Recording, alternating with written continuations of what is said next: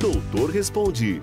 Oferecimento: Instituto de Radiologia Presidente Prudente. Visare Hospital de Olhos. Sua visão levada a sério. Oncoquer. Há cinco anos, a nossa maior especialidade é a sua vida. E Laboratório Marlene Spear. Pioneirismo e credibilidade desde 1969.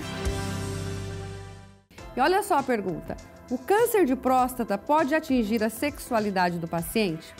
Quem responde essa pergunta é o Dr. Edmilson Long, médico urologista. Boa tarde, doutor Edmilson.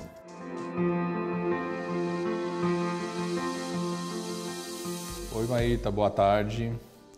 Essa pergunta sobre o câncer de próstata é muito importante e é uma coisa que tem preocupado muitos pacientes aqui no consultório.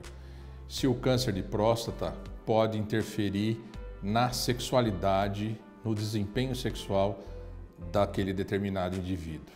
Isso é uma confusão, tá? Na verdade, diretamente o câncer de próstata não causa problema de impotência.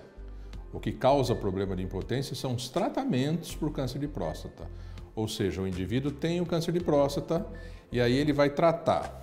Ele vai tratar com uma cirurgia radical, vai tratar com uma radioterapia ou vai tratar com um bloqueio hormonal, que são os tratamentos clássicos aí sim esses tratamentos podem levar o indivíduo a ter um déficit na sua sexualidade, tá bom? Então, diretamente, não, o câncer de próstata não causa problema, mas indiretamente sim, porque os tratamentos usados no câncer de próstata vão causar impotência, tá? Espero ter colaborado, agradeço e até uma próxima oportunidade.